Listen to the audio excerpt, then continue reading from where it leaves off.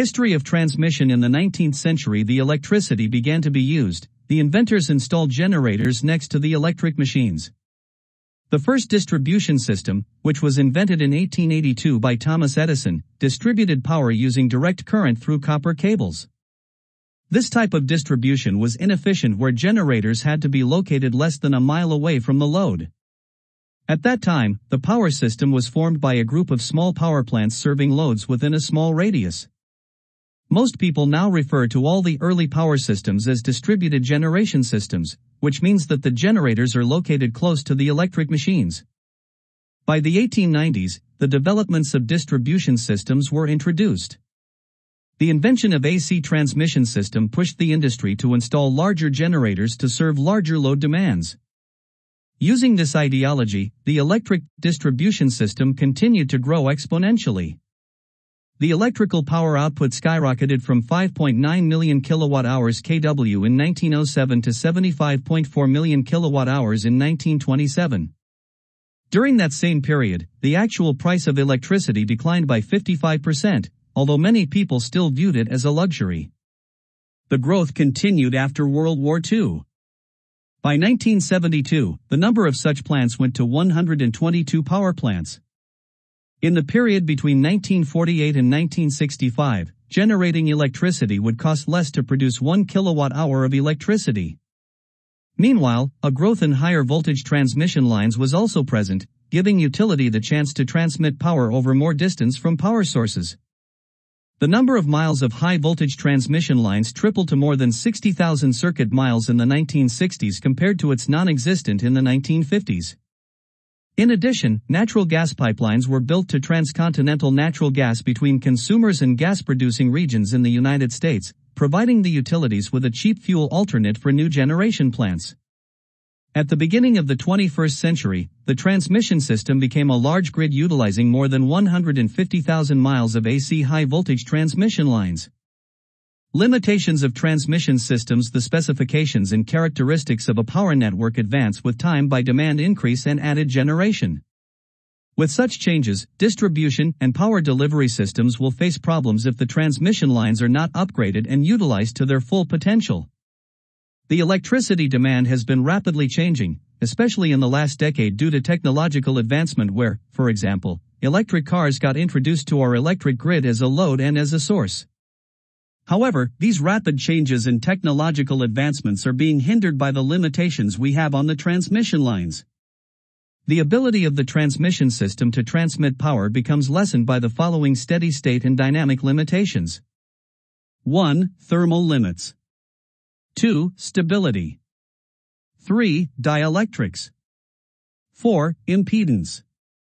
Several types of FACTS controllers were designed and commissioned in different parts of the world. world.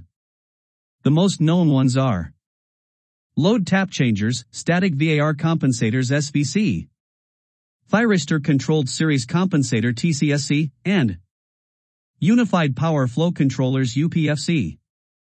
PowerFlow has always relied on generator control, voltage regulators using tap changers, phase shifting transformers, and reactive power plant compensation switching. FACTS devices can control the power flow by controlling the main parameters of any transmission line. 1 line impedance, 2 phase angle, 3 voltage magnitude. In addition, FACTS devices can also be used to increase the stability of the network and regulate its voltage. In general, there are several advantages of using FACTS devices and they can be summarized as follow. 5. Better utilization of existing transmission system assets and reduce the need for construction of new transmission lines.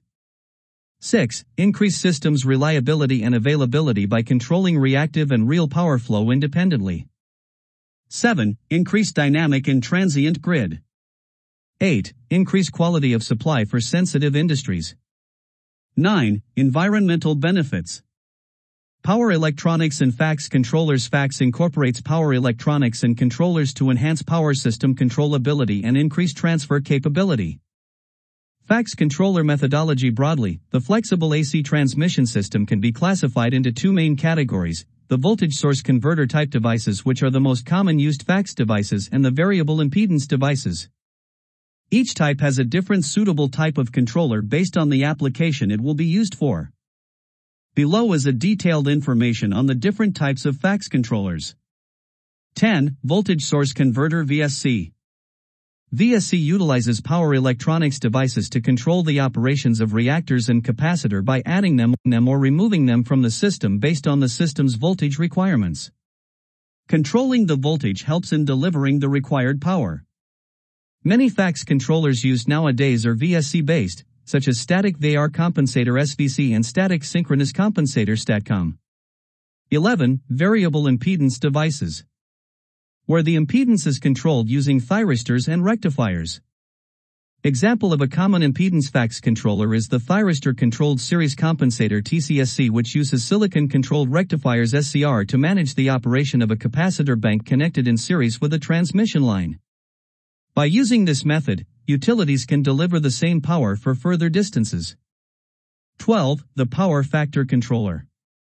Power factor can be controlled by using a thyristor-controlled phase shifting transformer TCPST, which is considered a combined series shunt controller.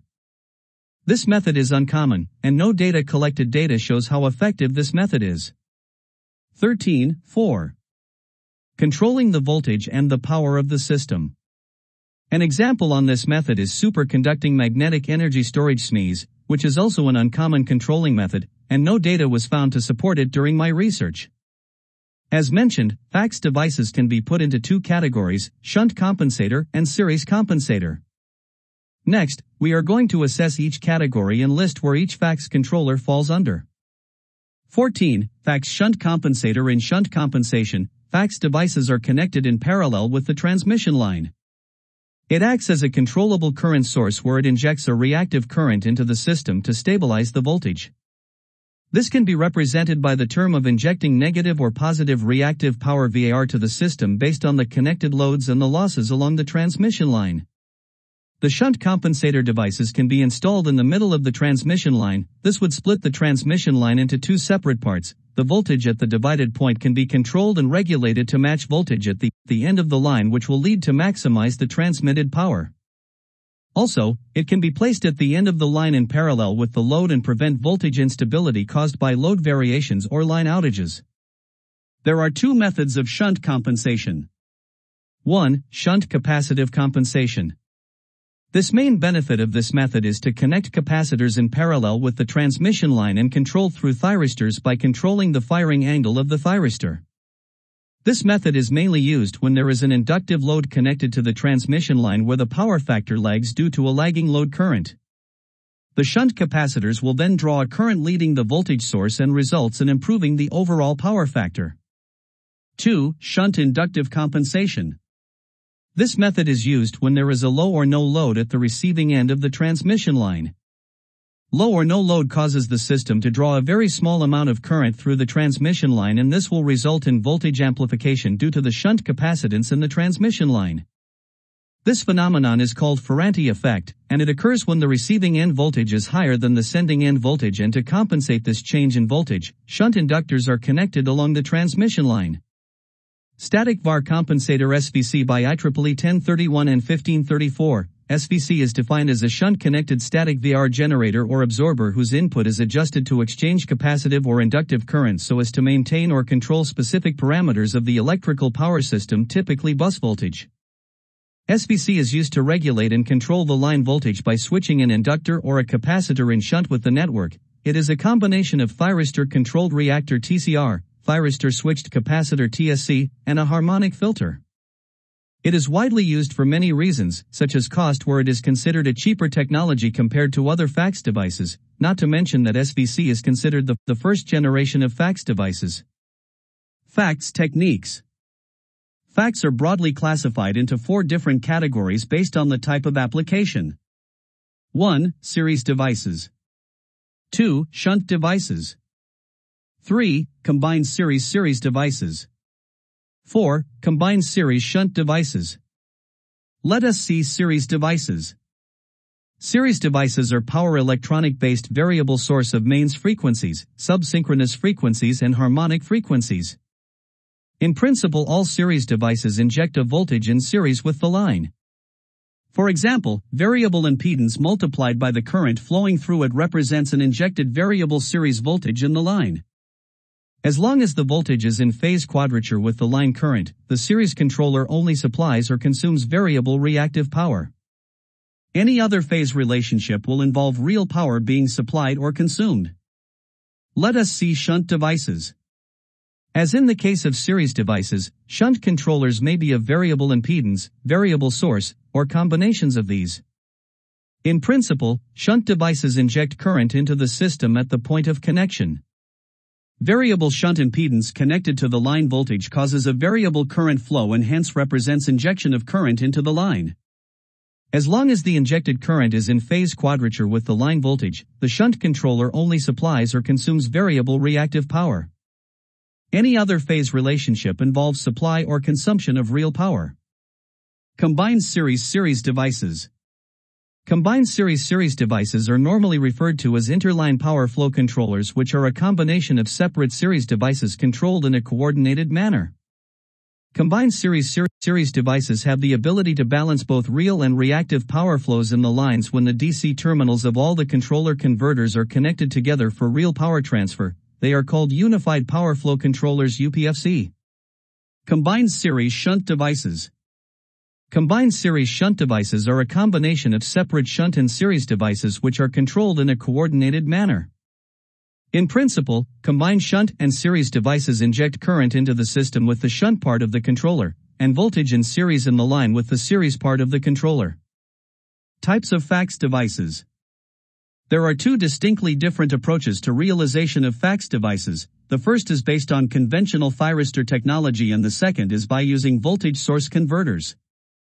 Different types of FACTS devices that are available are 1. Thyristor controlled reactor TCR 2. Thyristor switched reactor TSR 3. Thyristor controlled capacitor TCC 4. Thyristor switched capacitor TSC Flexible AC transmission FACTS operational challenges While FACTS devices offer significant benefits for the power grid, their implementation presents certain operational challenges that need to be addressed.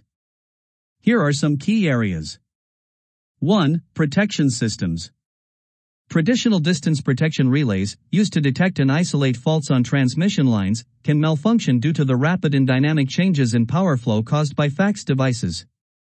New protection schemes and relay settings need to be developed to ensure accurate fault detection and isolation while considering the presence of FACTS devices in the grid. 2. System planning and analysis.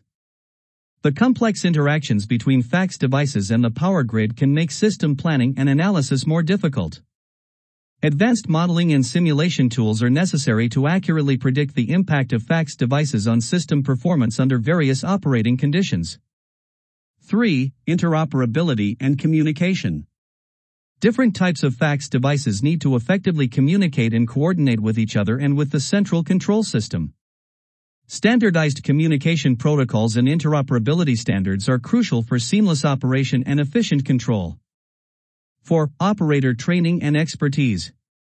Operating personnel responsible for managing the grid with FACTS devices need specialized training and expertise to understand their functionalities, limitations, and potential impact on system behavior. This includes understanding the interaction of FACTS devices with various protection relays and control systems. 5. Cost and maintenance. FACTS devices can be expensive to install and maintain due to their complex technology. Utility companies need to carefully evaluate the cost-benefit analysis before implementing these devices, ensuring their long-term operational effectiveness and return on investment. Additional challenges. Harmonics. FACTS devices can introduce harmonics into the power system, which can affect power quality and equipment performance. Mitigation strategies need to be implemented to minimize this impact. Cybersecurity. As FACTS devices are increasingly integrated into the grid, they become vulnerable to cyber attacks. Robust cybersecurity measures are essential to protect them from unauthorized access and manipulation. Overall, while FACTS technology plays a vital role in enhancing the performance of power grids, addressing these operational challenges is crucial to ensure its safe, reliable, and efficient operation.